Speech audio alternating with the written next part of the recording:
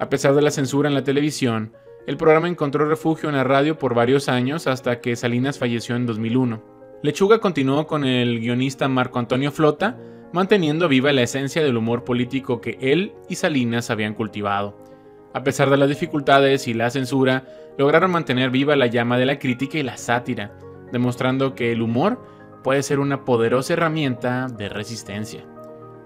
A pesar de las dificultades, Lechuga y Salinas nunca dejaron de hacer reír a su público, su humor, siempre agudo y valiente, se convirtió en una voz de resistencia en un tiempo en que la represión era la norma. Su legado nos recuerda la importancia de la libertad de expresión y el papel vital que el humor puede jugar en la política.